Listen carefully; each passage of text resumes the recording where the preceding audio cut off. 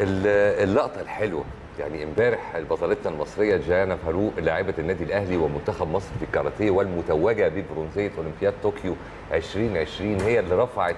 العلم المصري في حفل ختام دورة الألعاب الأولمبية طبعا بحضور عدد كبير جدا من الأبطال المشاركين في هذه الأولمبياد. من ناحية ثانية بكرة إن شاء الله يوم الثلاث البعثة وأبطالنا هيوصلوا للقاهرة إن شاء الله سالمين غانمين في تمام الساعة 11 صباحا. وطبعا هيكون في الاستقبال لفيف من الشخصيات الرياضية ورؤساء الاتحادات المعنية وممثلي الأندية. وبرضه عايزين نقول لحضراتكم إن مجلس إدارة النادي الأهلي برئاسة الكابتن محمود الخطيب قرر تفويض الدكتور مهند مجدي عضو مجلس الإدارة لحضور مراسم استقبال البطلة الأولمبية جيانا فاروق ابنة النادي الأهلي والحائزة على الميدالية البرونزية في أولمبياد طوكيو 2020